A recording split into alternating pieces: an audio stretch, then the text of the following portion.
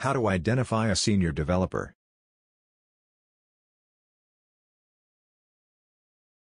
There is an inverse relationship between seniority and given. How far from senior to wizard? You mean senpai developer? Blockchain engine you that's too senior to me, I'm sorry. Proficiency in WebGL required. Seniority usually comes with ability to learn fast and explain better.